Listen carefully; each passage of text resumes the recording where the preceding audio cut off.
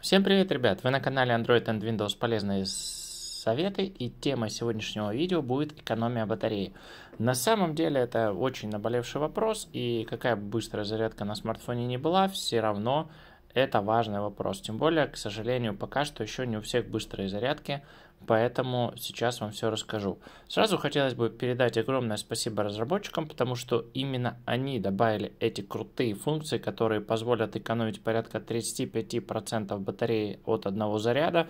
То есть батарея будет работать от одного заряда дольше процентов на 35-40.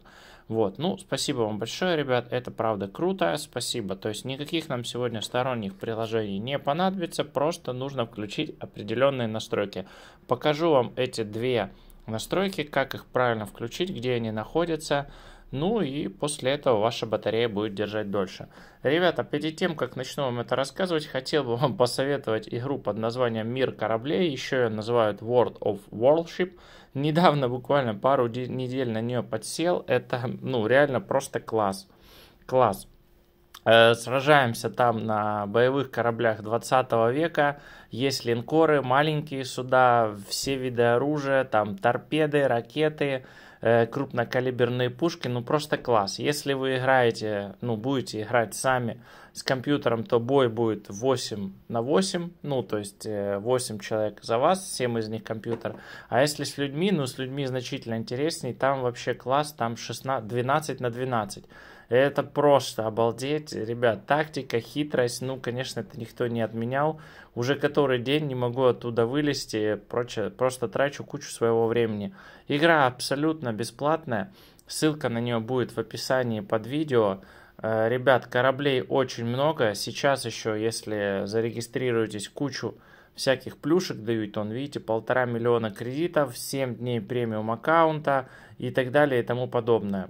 Просто переходите по ссылке, скачиваете на компьютер, устанавливаете и начинаете играть. Кстати, компьютер у меня не сильно мощный, каких-то там э, крутых мощных игровых ПК вам не потребуется.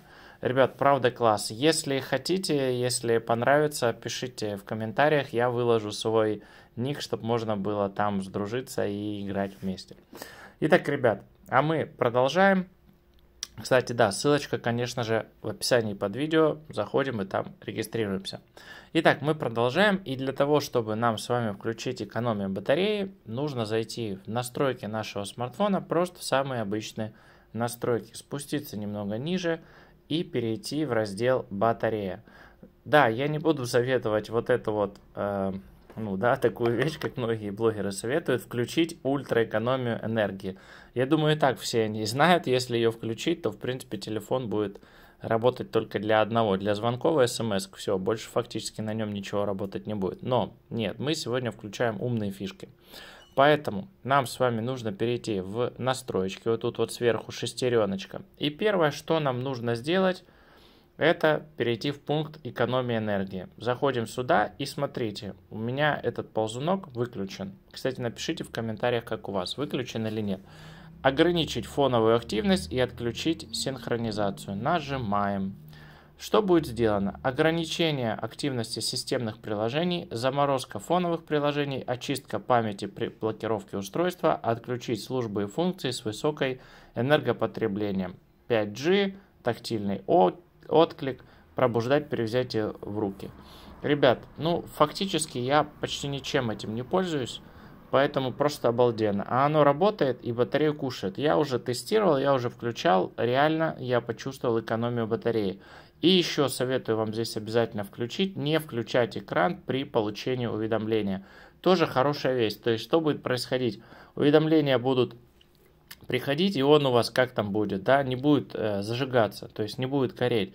Это круто, потому что вам кажется это мелочь, а на самом деле это очень сильно садит смартфон, потому что уведомлений может приходить масса, постоянно включение, отключение экрана, и вот на включение он тратит довольно-таки много энергии. Потому что, ну, в принципе, вы понимаете, что экран это один из основных первых, первый, наверное, в списке, кто расходует батарею смартфона. Итак, две эти настройки включили. Это первое, что нужно сделать, чтобы батарея экономилась. Итак, возвращаемся назад. Смотрите, первое, чтобы, точнее вторая настройка, которую нужно сделать. Отключать мобильный интернет. Вот видите, у меня стоит никогда. Пишите в комментариях, что стоит у вас. Я советую вам поставить через 10 минут. Что это означает? Через 10 минут мобильный интернет, когда вы не пользуетесь смартфоном и он заблокирован, будет отключаться. То есть он не будет идти на всякие вот эти вот проверки обновлений системы и так далее. Ну, подсистемные процессы. Не переживайте. Уведомления там с Телеграма, Вайбера, вообще откуда угодно. Дальше вам также будут приходить. Все это будет работать в нормальном абсолютно режиме. Но поверьте, экономия батареи будет значительная. И очищать память у вас может стоять никогда или через 30 минут. Я бы советовал вам каждые 10 минут.